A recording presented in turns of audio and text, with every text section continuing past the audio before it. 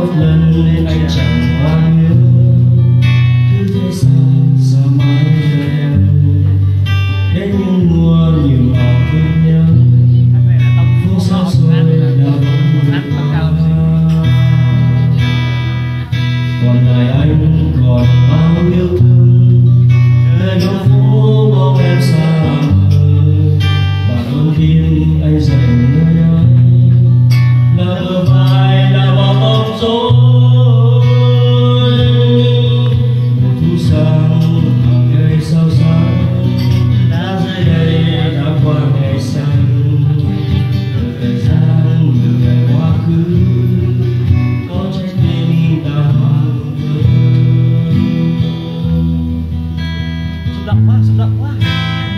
sắp khóc rồi thầy.